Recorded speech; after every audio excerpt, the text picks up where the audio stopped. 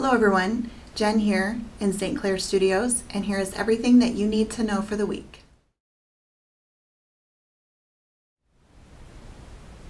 We will have our last in-person appointment sign up for our new St. Ann and St. Joseph directory on August 12th and 13th after all the masses, but you are still able to sign up online.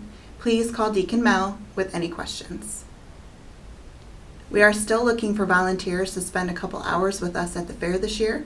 Sign up sheets are in the ramp area of St. Joseph and the main entry of St. Ann's. We have a holy day of obligation coming up on August 15th. This is the feast day of the Assumption of Mary. Please see the bulletin insert on special mass times. That is all for now. I'll see you next week.